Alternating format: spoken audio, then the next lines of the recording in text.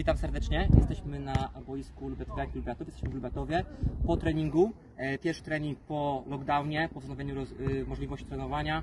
Ze mną Wołodymir Duka, popularny Wowa. Witam. E, Wowa, pierwsze pytanie do Ciebie.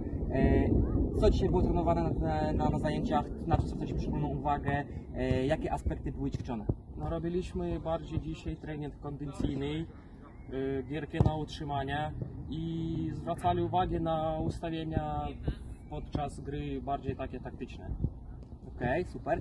E, drugie pytanie. Mm, Nad czym będziemy jeszcze pracować? Nad co będziemy zwracać szczególną uwagę? Jak będziemy się rozwijać w perspektywie czasu? No jak na razie to brakuje nam, brakuje w naszej drużynie to bardziej gry pilą, bez kopaniny do przodu i myślę, że taką pracą, którą robimy na treningu, no to osiągniemy tego. Super. E, I ostatnie jeszcze pytanie. Mm, Jesteśmy po lockdownie, wracamy po 3-4 tygodniach do rozgrywek. E, Jaka atmosfera panuje w zespole? E, Jak zawodnicy reagują na wznowienie rozgrywek? No i ogólnie mm, jak zespół funkcjonuje w tym momencie? No myślę, że cała drużyna nakręcona na ten mecz. No i idziemy po trzy punkty, a dalej kolejny to będzie awans do klasy i to jest proste dla mnie.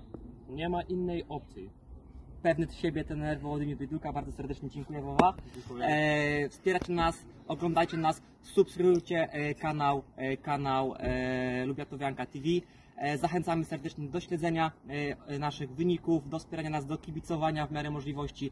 Trzymajcie kciuki i a my zrobimy wszystko co w naszej mocy. Pozdrowienia.